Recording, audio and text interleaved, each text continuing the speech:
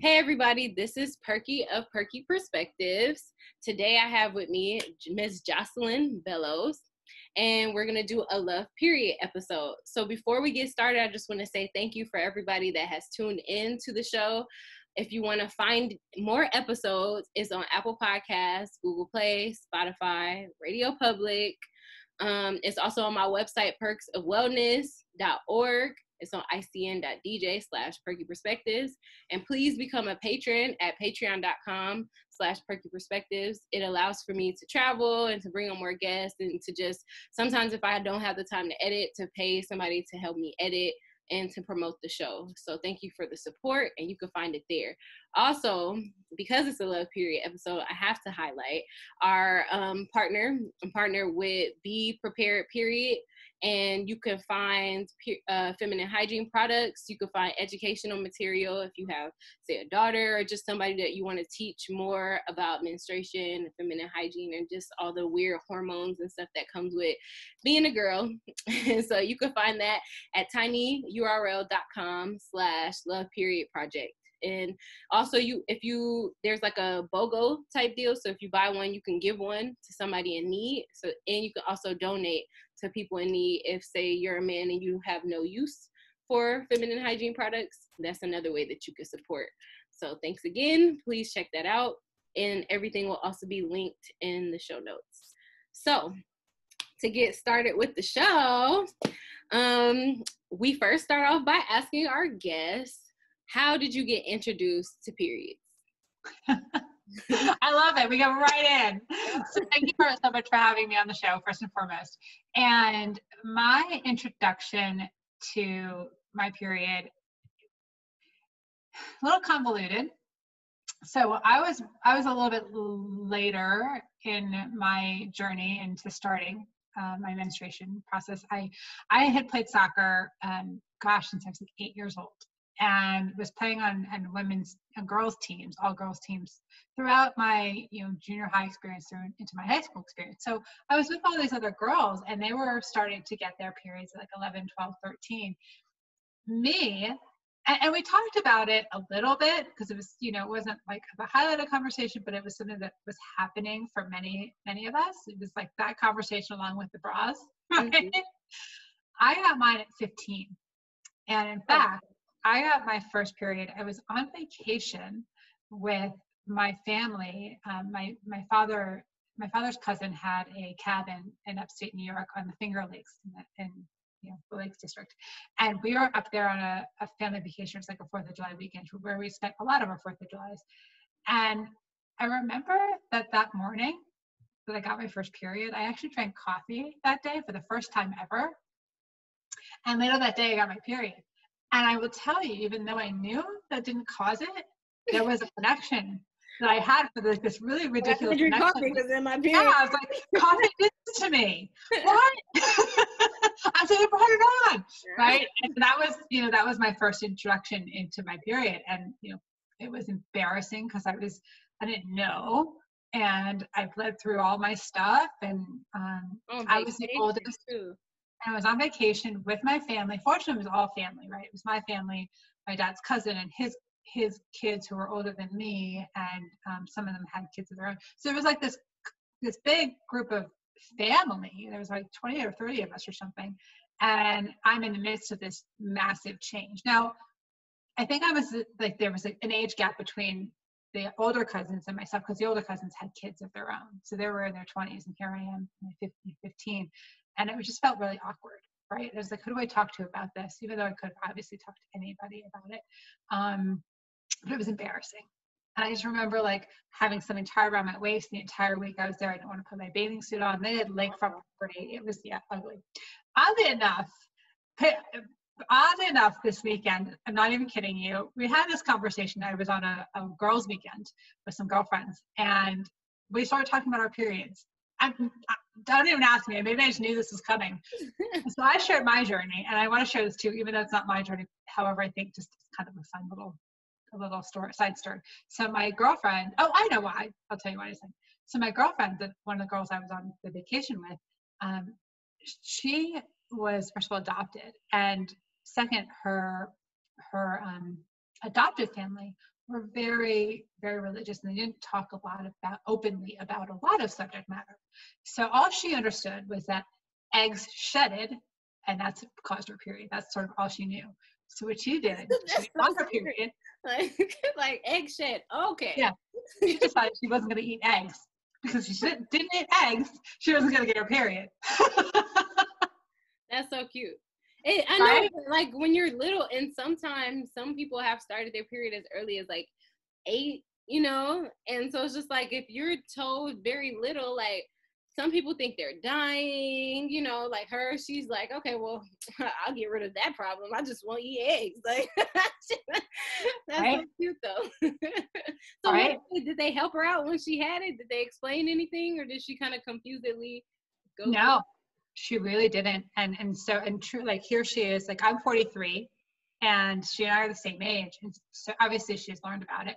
Um, however, it was, you know, there's that's uncovering for her is that was just one example of so many things that were not discussed in her childhood. Mm-hmm. mm-hmm. And she's since, you know, she's since learned her own birth story and, and met her birth family. And um, she, it, so here's just side note.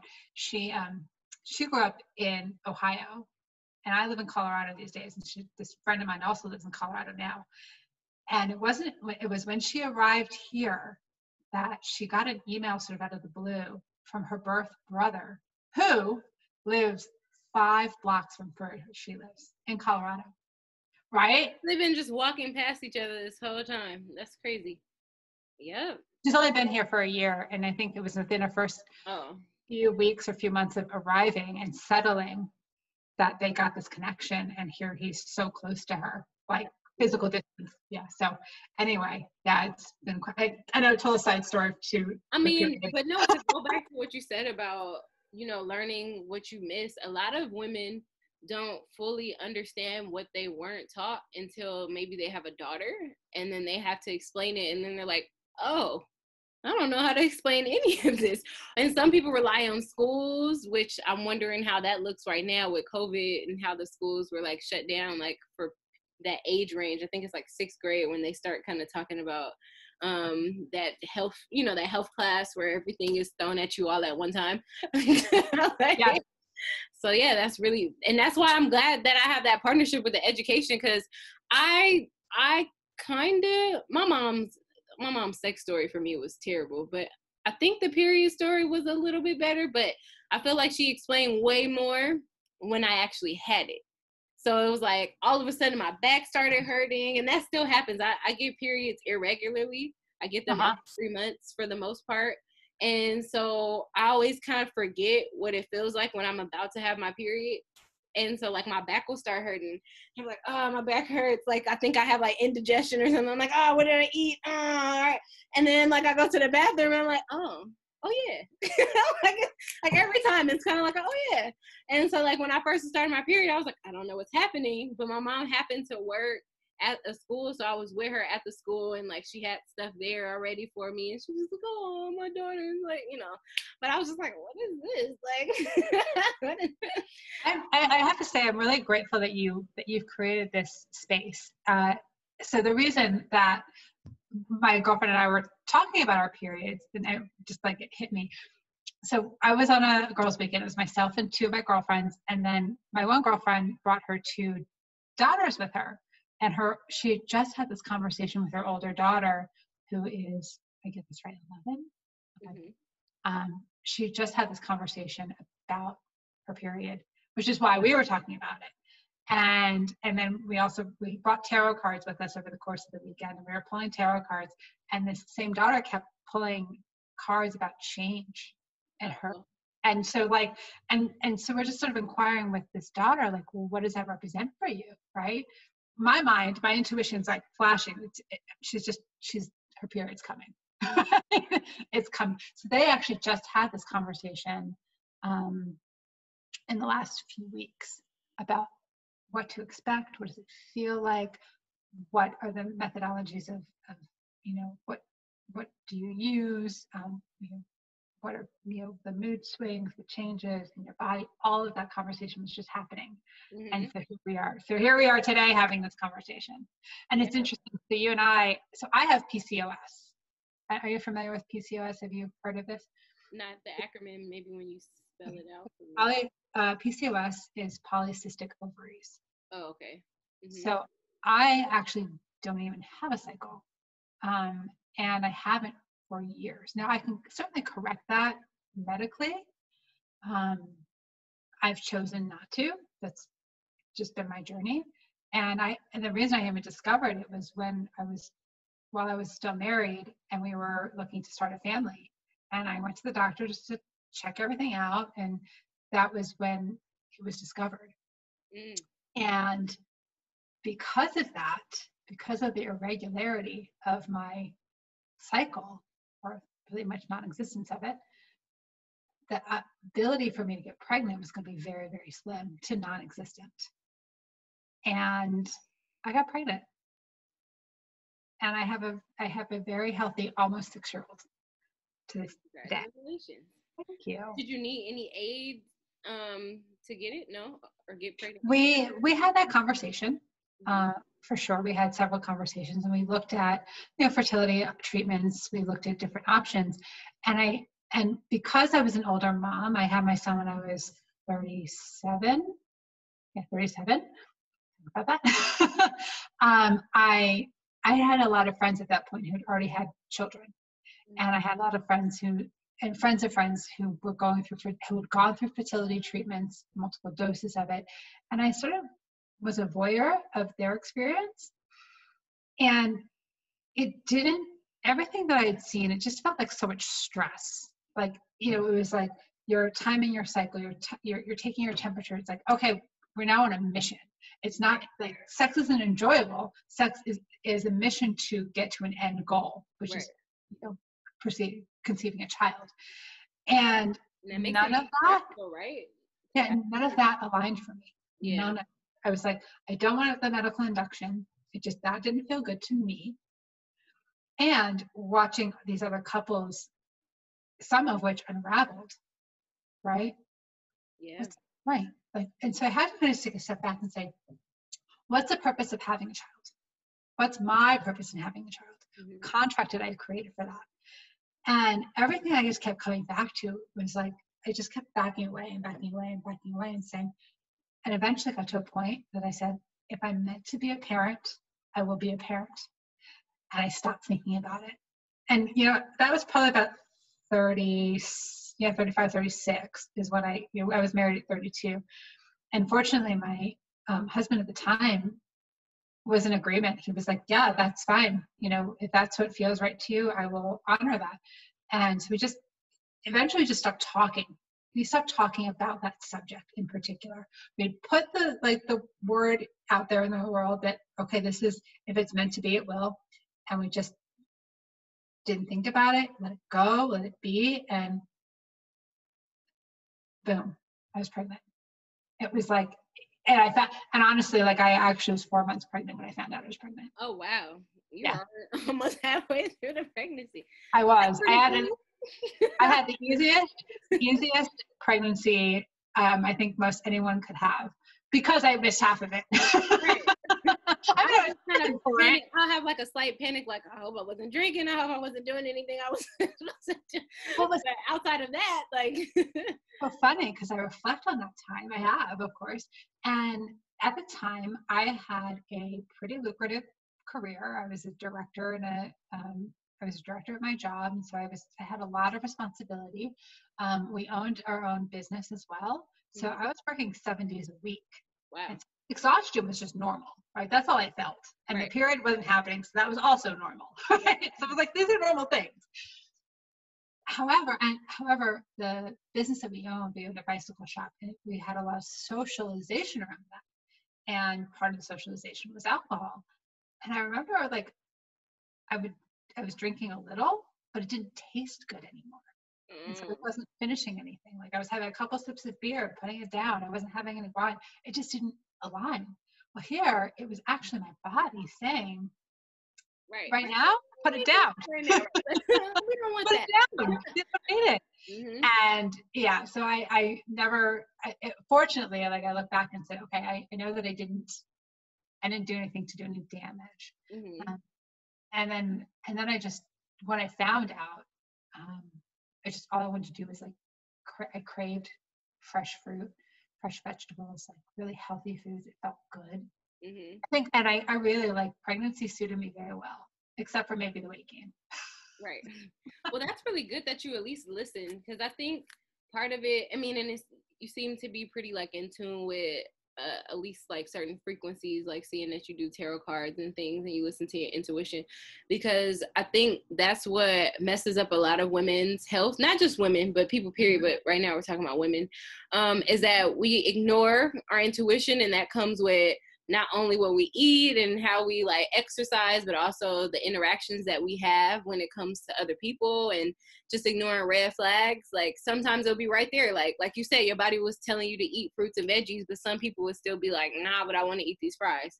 and it's like, no, but it's literally like your body is telling you like this is what it wants, this is what it needs to heal and you're ignoring it. And same way, like relationships, which I'm sure you could speak a lot on. sure can. sure can. And you're out, and it, it does. It, it, you know, you sh- when you show up one way in one like this way in one aspect of your life, you actually show up the same way throughout your life. If mm-hmm. you're really truly aligned with your being and who you are meant to be, you show up the same way through everything. And You, that's important that you do. Yes. It's important that you do. Not everyone does because we all wear masks. And I want to just address this for a moment because now we're, I don't know, 20 minutes in. My black eye. I'm just going to just put it out there so it so it's known. I was um, going to bring it up when you say your lovely son, and I was like, that's no, no. I do love my little child, but he, yes, he's a contributing factor to this. Um, it's my beautiful left eye. Um, so over the end of the course of last week, I was at a girlfriend's house and we were jumping on a trampoline and and he and I were just jumping on the trampoline and he bumped the top of my eyebrow, which caused my black eye. So not, you know, I'm okay, I'm fine, I'm healing, my eye is fine, I, my body is doing what it needs to do. However, I want to bring this up because it sort of leads us into the next round of this conversation. Um, this is a physical manifestation of some things that are going on in my personal life mm-hmm. that I wasn't addressing. So I yeah, isn't it funny how the universe has a way of just Bring slapping you? to say it plain. Yeah. have to edit that out later? yeah, it bitch slapped me. so yeah, so just and to be really super honest, um, I moved out to Colorado um, just over three years ago, and shortly after moving here, I I had in order to make the move, I um, left my career. And this was a choice, right? It wasn't a force. It was like we had this very, we had a very conscious conversation for many months about making this move. My employer knew for nine months that we were going to make this move, mm. and um, they actually were be- like beautifully released me, and I received a, a wonderful gift to go and, and go follow my next dream. In fact, this employer, former employer, still communicate with many of these people to this day, three years later. How beautiful it was. Anyway, side note. We make this move.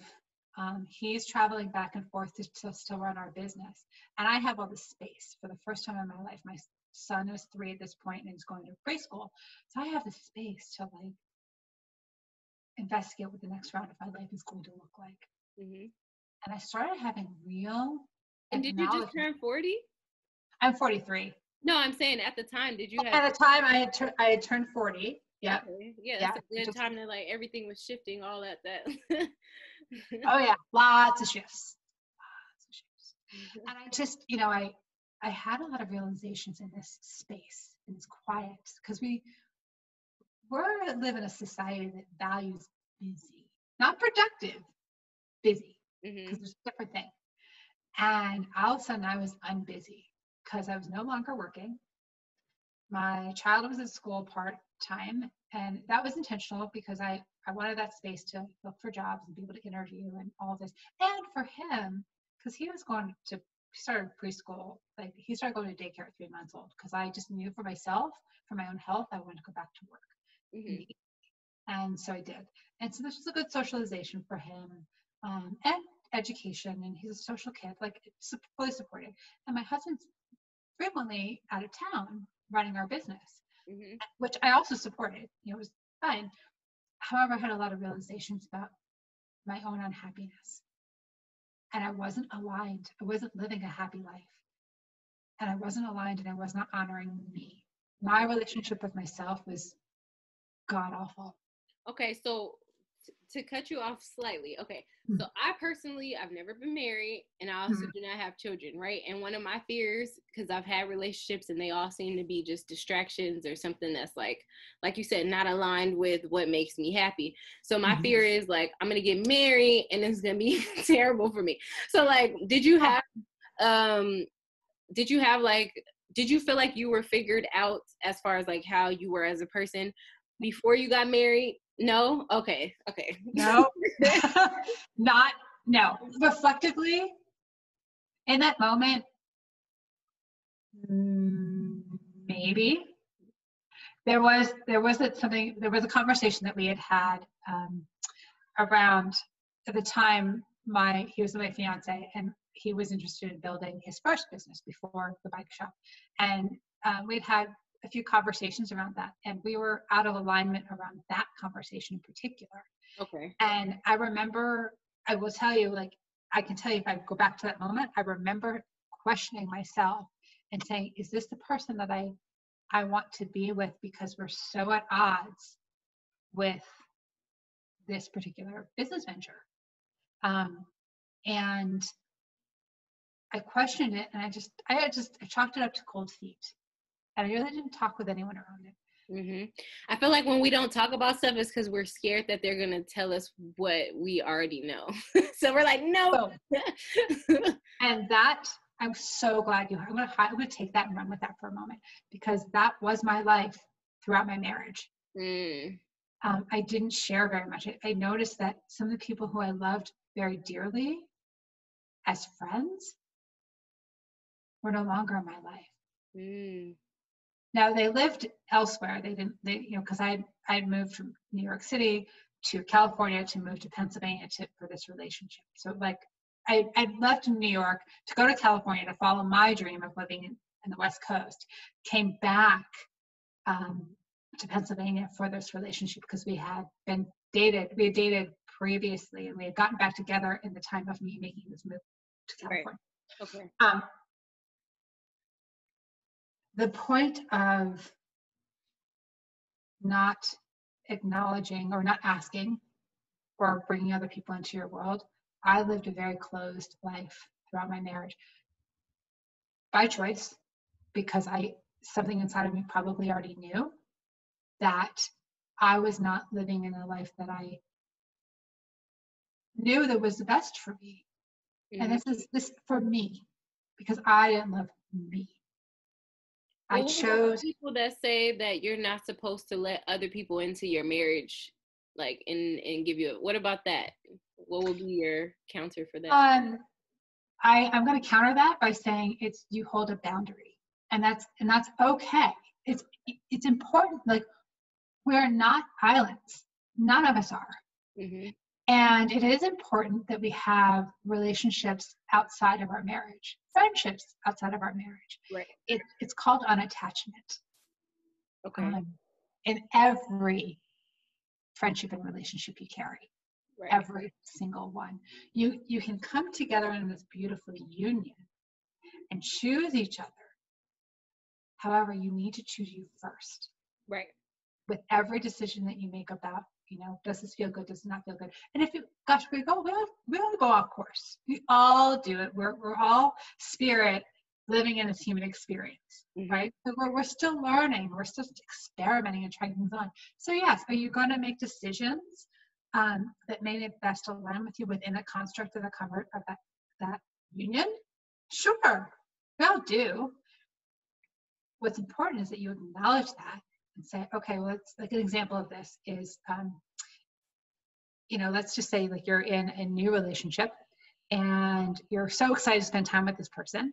However, every time like you're with their friends, you kind of feel not quite as seen or as important. So maybe the next time that you are asked to join their friends in, a, in an activity, and you have now the choice to say, well, I want to have this conversation with my partner and say, thank you for this opportunity. I know this is important to you. I don't feel seen when I'm with these people. Like, mm-hmm. own that, own it. Yeah. Say it, communicate it. And if it means that you just don't spend time with that person you're dating for that evening because they're they want to spend time with their friends, or you, you either opt out or you opt in, and now your partner has acknowledged this, and now you get to communicate that together. Right. Or you guys get in an argument and now you see that you wasn't meant to be with them anyways. and that also, I mean, that could also be the thing. So like, one thing we talk about too, I, I think this is really kind of drives it very nicely. Um, we talk about when we, we begin a union and that but that moment of butterflies, like you're so excited mm-hmm. to spend time with them. Guess what? Your body will always know what's best for you.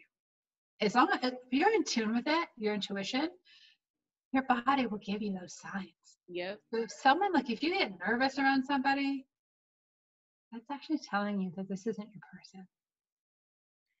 Truly. Well, kind of nervous. Now I'm nervous. Oh, but like, but it's enjoyment and excitement, but like, really, it, it's meant to feel calm.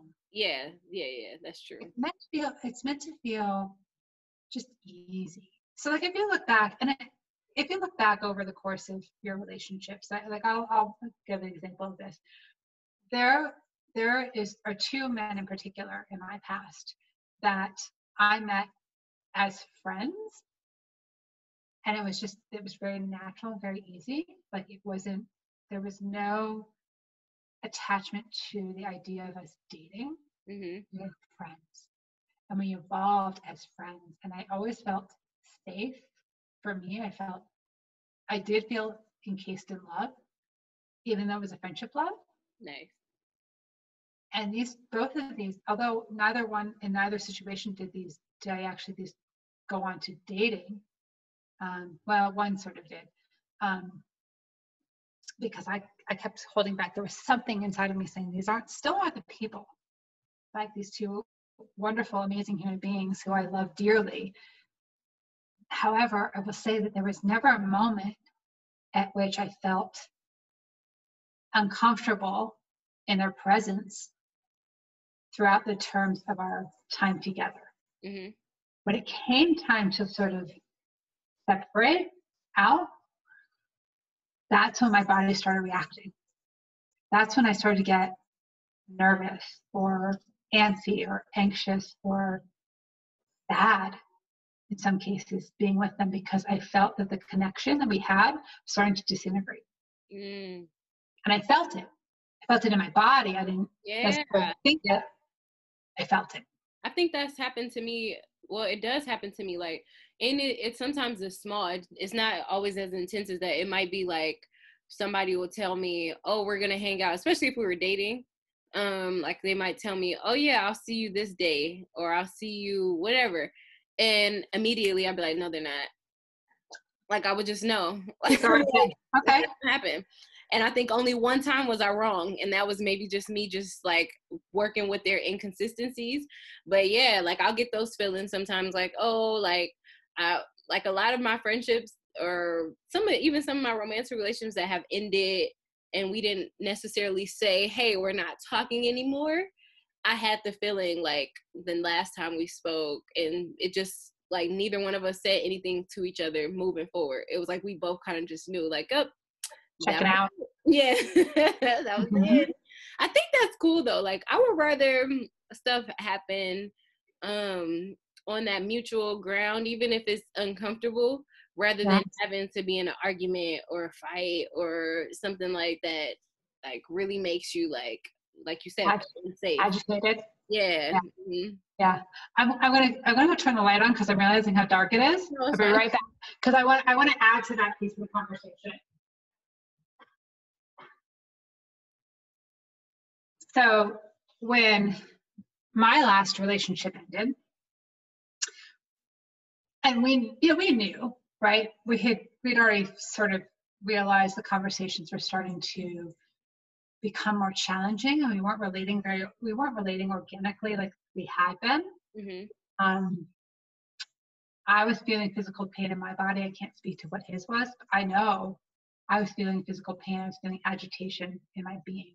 I already knew before i knew and so when we really finally had that conversation because we really had a conscientious time together we were very we were very communicative through most through most of it not all of it but through most of it and when we decided to just cut ties, um, you know, the first conversation was was challenging because still care very deeply for this person, and also knowing that this person and I are no longer aligned.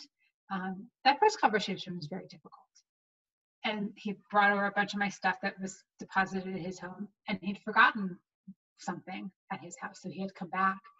Um, he came back a few days later, and it was a you know planned time that he was going to come over. And I remember right before he arrived, I had dropped my son off to with his dad because I didn't want my son. It was intentional not that my son was not going to be here when we had this conversation, even though they had met. Um, I didn't want him around it. And right as I was coming home, I received a phone call from a tapping therapist someone who I reached out to because I was interested in learning about tapping therapy. And even though we didn't talk about, we talked a little bit about it, she calmed me. It was like the timing was so appropriate because she got me into a place where I was able to shift how I was going to approach this this final final conversation. Mm-hmm. And then I just I had a couple of minutes before he arrived and I journaled all I and I wrote I am love. And I just shifted my whole point of view. Mm-hmm. So when he arrived, we ended up talking for like an hour and a half. It was meant to be, I didn't know what to expect. I had no expectation. I just thought, like, is he going to drop my stuff off at the door and leave? I don't know, you know? And we had this very, this incredibly beautiful conversation. And we really dove into the things that we didn't communicate throughout the time, our time together, the things that were really, that he was holding onto that he was putting on me and projecting on me things that I was holding on to and projecting onto him. Mm-hmm. And we weren't communicating on that at all. And in truth, we had this conversation. We held hands like the entire time. And there was so much love in this space, knowing that we were making the right decision for both of us. And when he left my door for that last time, he was beaming, and so was I. Oh, that's nice. And and you know, I'm not going to sit here and tell you like have I had fallout? Absolutely. Is there still stuff you, like, I, and I've been able to, I know separation of it's not him, it's a lot of what he represented. And I had to past trauma that I'm still resolving around my own life. Right. That isn't his, it's mine. In that, in that construct though, in that, in that space, we were able to have a very conscientious conversation about how we saw each other and what we care and how we cared about one another during our time together and it was beautiful. Mm-hmm. it was beautiful. And in that case because of the time we spent together that was i know what i needed to resolve even though the resolve had to be mine regardless let's just say the conversation didn't have because convers- those conversations don't always happen. You resolve it within yourself anyway. Um, that was a beautiful way for us. Now i've had I've dated like barely since. Mm-hmm. And I've had those ones that have just fallen away. I'm like, yep, good. I'm like, oh, I'm glad I didn't have to say that you know. Anyway, coming back to all this, though, it's you know what I do, what I am. I'm a breakup to wake up coach is my title, and really what that is. And people hear that, like, oh, break up with a relationship. Well, kind of. It, it's really breaking up with bullshit that you create for yourself yeah. about yourself. Like you, you said, you, you say you have these moments where like, oh yeah, they're not that thing's not going to happen. Actually, I'm going to ask you. I'm going to turn the table. I'm an interviewer too, so I'll, I'll only do this. We'll try not to. do this. All right. However, you know, sometimes it happens. Um, I'm just curious if there's anything that comes up in your life that you are like that you've talked negatively about yourself. Is there is there a particular theme in your life that you feel like you've you're undeserving or un Oh, uh yeah, I guess uh keeping it on topic.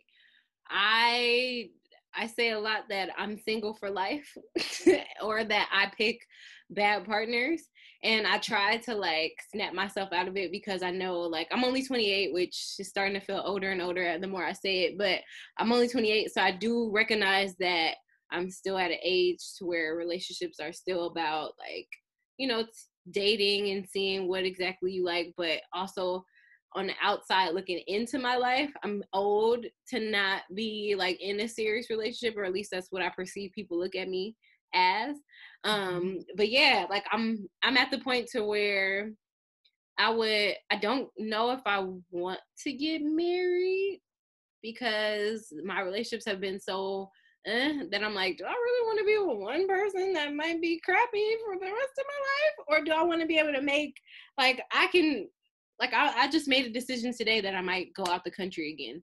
And you can't just do that to like with a, a marriage and a, a, kid most of the time you can't just be like yeah i'm gonna just leave and just do my thing so like it's also fair around like will i still have this independence and this freedom and still feel like i could be myself and not distracted and thrown off if i was in a serious relationship and then if i do get in a serious relationship am i gonna continue to pick these people that I know I don't have no business being with. so then I just mm-hmm. like oh, single for life. yeah. Yeah, I do that. Yeah, so you're so you know what I hear is like you're blocking allowing you're blocking love to enter in your life.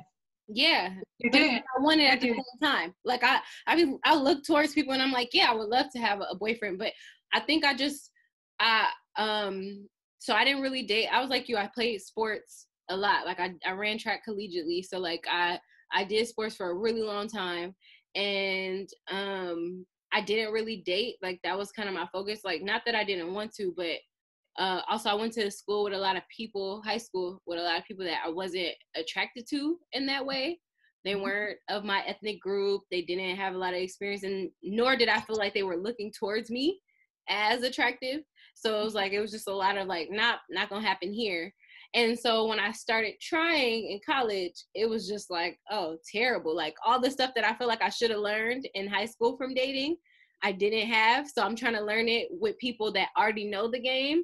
And so they're using me or they're putting their what they've learned onto me and and so then it was, it was just a lot of like trial and error to where it started to feel habitual like i'm i'm mm-hmm. continuously getting with these people that are doing me the same way because that's all I know because I didn't have a time to really like work through that. So as far as me dating, like I'm kind of blocking love, but I would like to just date. Like just date. Like can we just go on dates? Can I like get to know you? But now I have degrees and I have all these things going for me. So people they see me and they they want to just um they want to kind of put me in the corner because they're like, oh, she's going somewhere. Like I see her, she got all these things going for her. I want to have her, but I don't want to really be with her. So mm-hmm. it's just like, oh, forget it. Like, like nah. it, it's yeah, we our journey is quite similar in that respect. I I didn't date in high school. I barely dated in college, and I dated a little bit through my twenties um, until I met my now former husband. Mm-hmm. And a lot of what you say resonates very much with me. Um, and in truth, the shift occurred when I decided that I was no longer going to live in this small space of being because I know somewhere inside of me there is a fire that is burning. My fire was really extinguished throughout my marriage. I did that to myself. Mm-hmm. I, I can tell you that I did that to myself because I didn't choose me. I kept choosing taking care of him, my child, everybody else.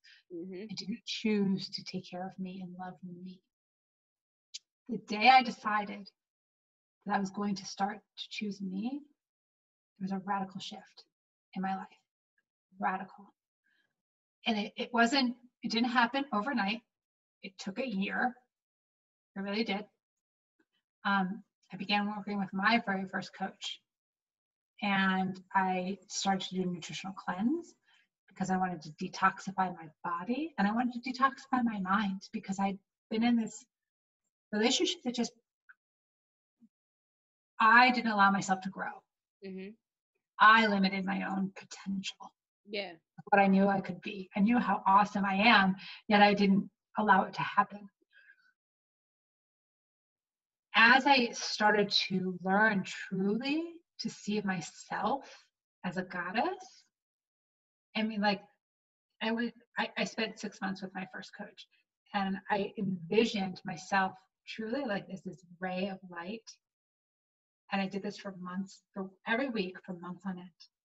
And I changed how I talked to myself. I changed how I talked about myself. I started to really imbibe what gratitude actually meant. Not just being like, I wake up and I'm grateful that I have a bed to sleep in.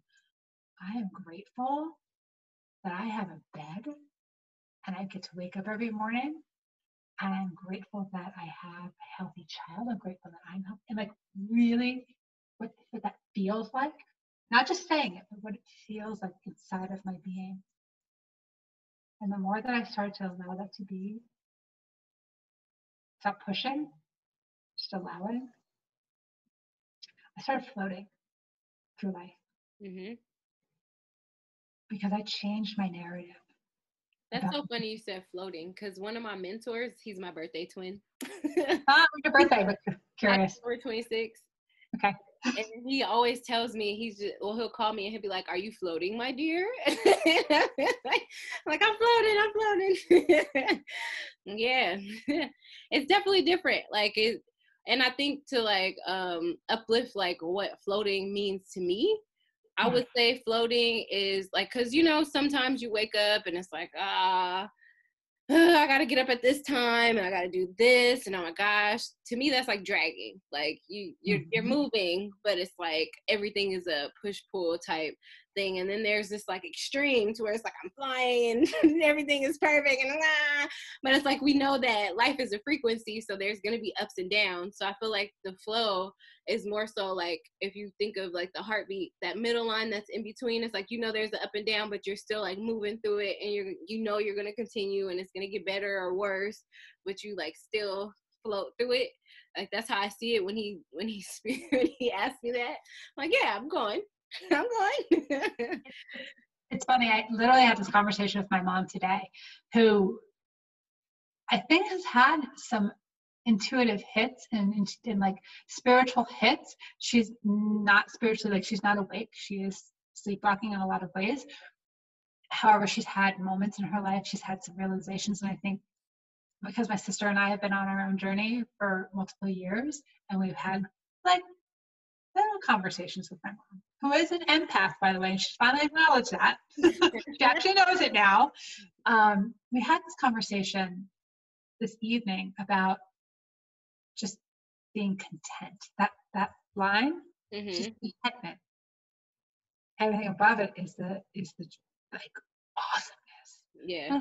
below it, it, it's part of our our space of the human experience. Like we need to. It's the yin and yang, right? It's like you have to have you get to have the highs, and if you get the lows, you you now know that the contrast. Right. High, right. It's part of this human experience that we're having. However, if you can live in this place of contentment for most of it, and you know that, that the lows are going to come back to contentment and the highs are going to come back to contentment, this is a pretty amazing place to live. Balance, yeah. Balance. And it, it, it comes from in your being, not up here. I mean, I know I have a lot of friends who are mindset coaches. It, yes, this is part of it. It's really like actually disengaging this, really dropping into this. Mm-hmm. When you get to drop into this, and understanding that we're all connected, like the force exists. yes, the Star Wars force, it exists. Right. And understanding and living in that space just ease. Mm-hmm. It's not easy to do. Like you can't snap your fingers. That's not true. I can't say that. For me, it took me a good six months of really con- consistently choosing me saying no for me for me it was saying no to alcohol it was for me saying yes to good sleep yes to drinking lots of water yes to eating well um, yes to the things that continued to make me happy and saying no to the things that felt yucky. Just keep doing that. And I stayed in a bubble. I'll be honest, I stayed in a bubble for a while um, until I really embodied this. And then I got to. You have to isolate though. Like, I mean, I think we all naturally isolate, but we don't maybe practice what we're supposed to do when we're isolating. Like, there's some people they isolate and they just play video games or like find a distraction. But it's like, no, like your being is telling you to take this time out for yourself so you can actually focus on yourself, not you know, like some people they isolate is like, oh, I just can't mess with nobody right now because wooty wooty woo. But then it's like then you leave from that isolation space and then you go back to doing exactly what you were doing before you isolated. So you didn't have any real growth during that time. But yeah, like I mean, my it's funny, I think everything kind of happened at the same time for me with the COVID stuff.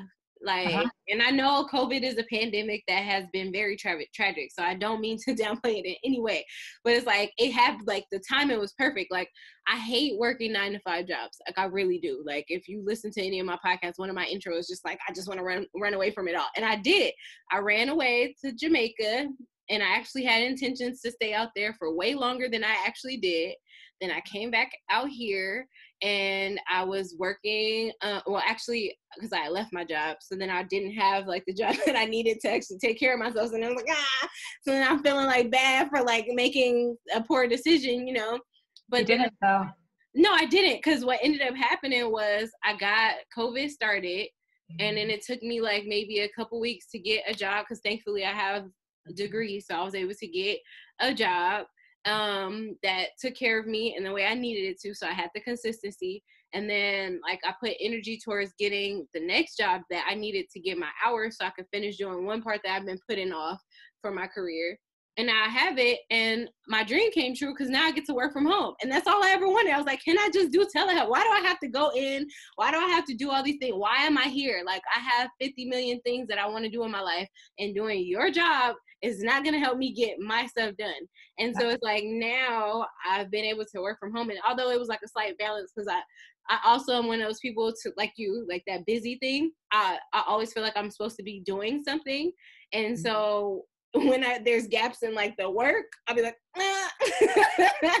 but now it's like a balance. And so it's just like, yeah, but I had that alone time. Like I was, you know, doing like little odd jobs, like doing a lot of stuff by myself. I couldn't go out because I didn't have money to spend and then COVID happened. So it's like I couldn't go anywhere anyways. Mm-hmm. So it's like I had to take that time to be like, girl.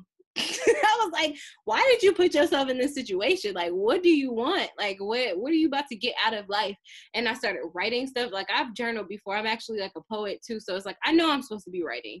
So I like marked up all my mirrors. I started read uh writing in my journals. I started waking up even like I would my last job before this one, I had to wake up for 4:30 to be to my job for seven, and I would wake up that early so that I can meditate in the morning and also so I could read because I, I love reading, but I stopped reading. Like after, well, during college, I was like, okay, now I have to read. So it was like, I'm not reading for fun. That's not joy.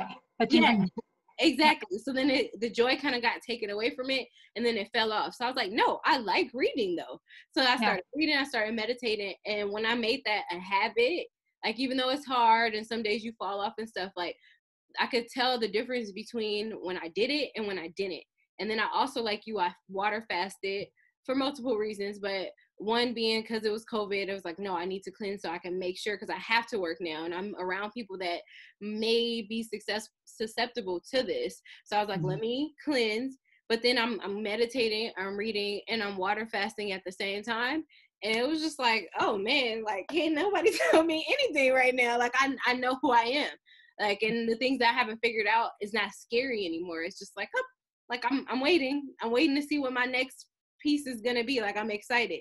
So yeah, I definitely feel it's like yeah. this, it's this healing chakra that's right here that a lot of people don't know about and it's yeah. like that's where it's like the connection between the brain and the heart because if you listen too much to your brain you you might go the wrong way and if you listen to you, too much to your heart you might go the other way so it's like mm-hmm. you have to find that balance, balance. between both mm-hmm. there's there's one other one that um, i want to add to that so yes you're right you've got your mind this is a healing you know this is a um, your thinking center your heart is your feeling center and then your gut so when you're you're cleansing mm-hmm. your and your and your body is clean now you get to tap into your gut, which is your intuition. It's like when you when you people like literally say, "I feel it in my gut," that's their intuition. Yeah. It's your it's your knowing. You're thinking, you're feeling, and you're knowing. Yes. Center. Um, and those and those are when those are in alignment, that's when you're really in flow. Right. And it's crazy too because for me, I get this weird like when you say you had that conversation with your ex-husband about um like the breakup and stuff. When I'm about oh, that was no, that was a former that was a former that was a relationship post.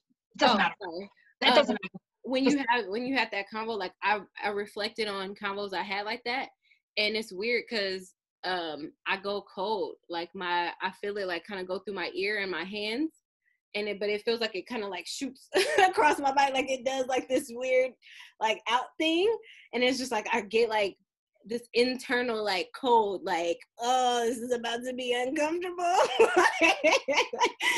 That's really interesting uh-huh. i wonder what that represents for you i have no idea but i know when i feel it i'm just like i have to like have an internal talk like no just continue with this conversation. Sorry, it's a little dark. Yeah. But yeah, I tell myself like, no, you just have to, you have to do it. You have to do it. And I end up feeling good. I think it's just maybe it's a feeling of transition. Like yes. Then I know it's coming because it, it's not like it's gotten violent when I felt like that. It's just this weird like, yeah. Your body has so many ways of adapting for the best version of you. Mm-hmm. Um, it's interesting because when you know I I was married for 18 years and I was with him for 14 um, years. And I will tell you, there is very little that I actually have memory of. Very little 14 years of my life. Yeah. It's my body has said to me, like, it's no longer serving you. Oh. To hold on to it, right? There's highlights and lowlights, and I certainly have those moments of like, it's because I resolved a lot of it. Mm-hmm. I've resolved a lot of it. Um, and because we, the way that our situation unfolded, we really didn't have that uncoupling conversation. It just it, that didn't that didn't actually physically exist. Um, energetically, I had multiple conversations with him about it, to where I resolved it within me. Mm-hmm. Within three months um, after we finalized, no, three months after I started working with my coach, so we weren't we were barely finalized, I was able to look at this person with love. And I will tell you, if you had asked me that at the beginning, nope. There's no I was like, how could I possibly do that? I had all this I had all this yucky anger, rage, resentment, a lot of very low vibrational things around it. And really within months, I was able to look at this person that was the father of my child and and encase him in love and just just sort of care bear stare love at him in his direction. Even if he didn't, even if he wasn't returning, it didn't matter. That didn't matter because I knew that I was okay in me, mm-hmm. and I could I could wrap him in that because if I can do that, I'm creating a safe sanctuary for my baby. Yeah. Because my, you know, from that point of view, I looked at it from my son's point of view. This wasn't his fault. Mm-hmm. None of this. It occurred, it happened.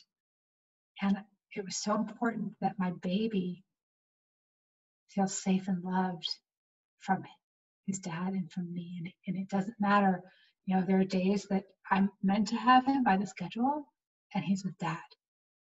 And I, and you know what? if that's where my child is and he's loved, that's wonderful. How lucky is my kid? How lucky am I? Mm-hmm. You know, and I say all this is beautiful and, and amazing. It's not this perfect journey. Like I just really this morning, I just took a nosedive.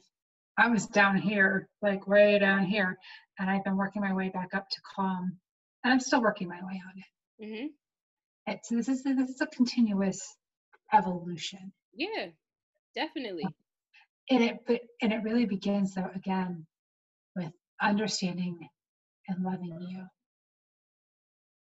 Yeah, and, like right now you have the you have this to remind you. it does. I mean, really, this what this is actually a occurrence of is is twofold. One, um, we were at this the place that we were at that night when this occurred.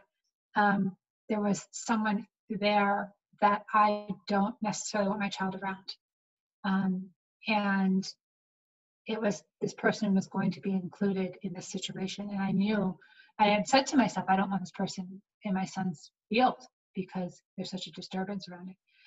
And so my son was upset and had already been sort of disengaged and crying, which is why I was on this trampoline alone with him. And I was also uh, going through some stuff with his father and his father's family that was upsetting to me. Mm-hmm. And it was thing that it was something that I had created, and I had to take a step back and I, and I undid a lot of the yuckiness that I had done for myself. I undid a lot of that today. That's why I was kind of down here initially and working my way back up. And obviously, this is that's come with that. But this is a physical manifestation of all the stuff that I was that I was holding on to that isn't okay for me. Yeah. Um, I like that you said that too, because on my mirror, and it's funny because my mirror, the frame actually broke recently, but the mirror, nothing happened to my mirror. And on my mirror, I wrote "recognize me" at the top, and then like a whole bunch of words like around it that like I feel like represents me, but sometimes I forget. And so like I say that to people listening, like, yeah, she you have a physical manifestation. Sometimes times that happens too. Like my cat, like I don't know if you see it. I took my friend's cat and he scratched me. To me, that's just showing me like, yeah, sometimes you want stuff, but it, nah. Like I didn't need a cat. I didn't need a cat. I didn't need a cat. So it was like that was like one of those reps for me. But I like the mirror too. So for like people listening, like if you uh, sometimes affirmations are hard. Some people don't know what to say to themselves. But like if you figure out what helps you unlock something like like even if mm-hmm. like for me one of the things i tell myself like when i'm stressed about money is money flows to me effortlessly, frequently, and abundantly. Because it's just like sometimes you feel like, oh, I'm never gonna have money again, and then when it comes, it's like, woo, and then you feel lucky. But it's like, nah, like that was coming to me anyways. Yeah. So it's like if you have these reminders in whatever way you need it on the mirror, or sadly, like in a scar, like just mm-hmm. recognize it and let it like let it flow through you because like when you like right now you're feeling low but then you can go and look in the mirror and just say like this is what happens when i don't focus on me and, and realize what I'm doing and that's not aligned with myself, then I'm gonna have consequences. And sometimes the universe bitch slaps you, and sometimes the universe is like it's enough. And so yep. it's like let's not get to the it's enough phase. Like let's catch it before it gets too bad. And let's and I'm gonna go on the on the reverse of that as well, because really life is meant to be easy. And the universe is always actually conspiring in your favor. So if it's if it's showing up in ways of injury or dissuasion to go down one path. It's dissuasion to, to go down one path because there's another one that's, that's more amazing and beautiful for oh, you. Sorry, you know? so, I took that the wrong way. I thought you were gonna say that like when the the universe is deterring you from going like continuing, but yeah, you went the other way. it is. It is. I it's deterring you from something that's not good for you. So that it shows like that door is closing, so another door can open. Yeah. And have to have the courage to allow for the flow to just float through it, float towards it. Exactly. Because it will feel good. Like I came home yesterday from a, a girls' weekend, and I had been I, have been having some things like within my being that I wasn't feeling safe within myself. And I even said that out loud. And so on my drive home, it was a five-hour journey home.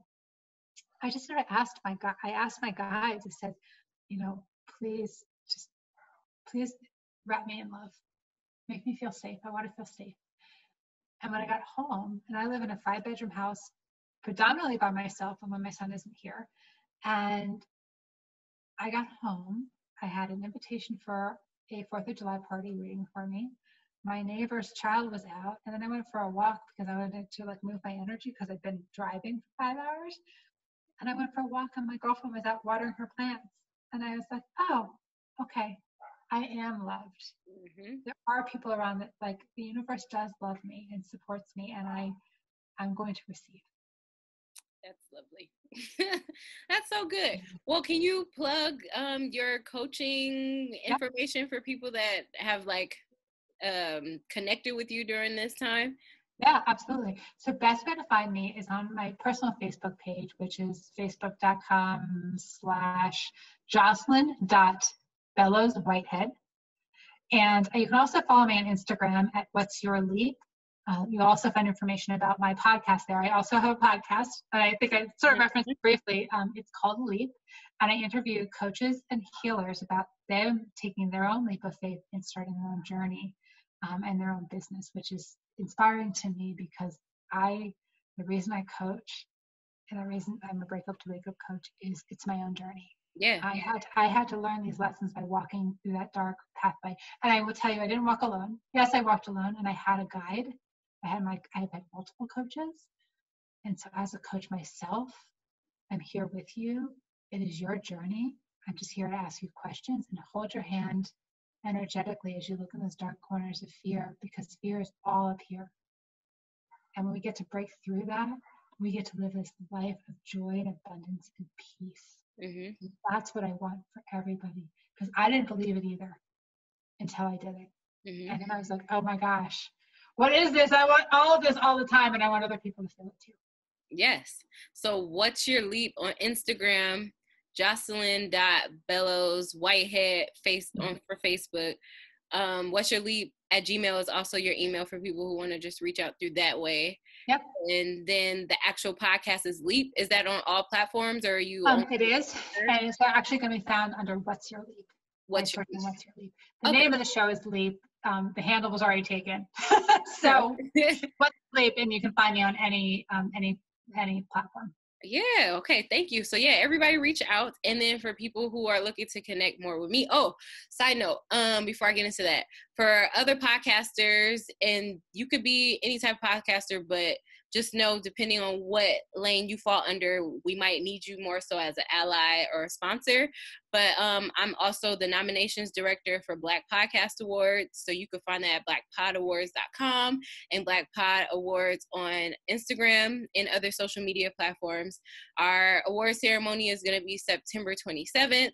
So please apply. Um, and if you're not ready or if you see something, this is the first year. So if you see something that doesn't make sense or maybe it doesn't apply to you and you have questions, you can reach out to me at perkyperspectivespod at gmail.com.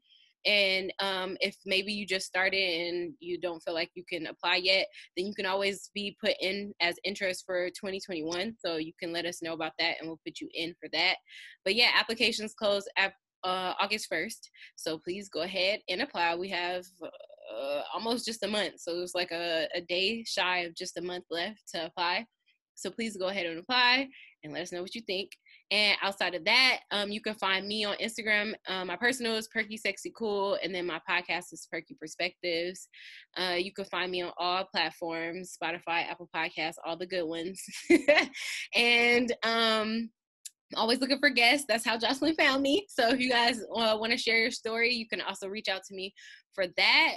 And outside of that, thank you guys for joining us and being a part of this journey. I feel like I took some leaps myself that I did not intend to take today, but that's how life goes. so, joys and surprises of it. Yeah, it felt good though. Like it felt good to know that you connected with me on some of my stories, so I didn't feel alone.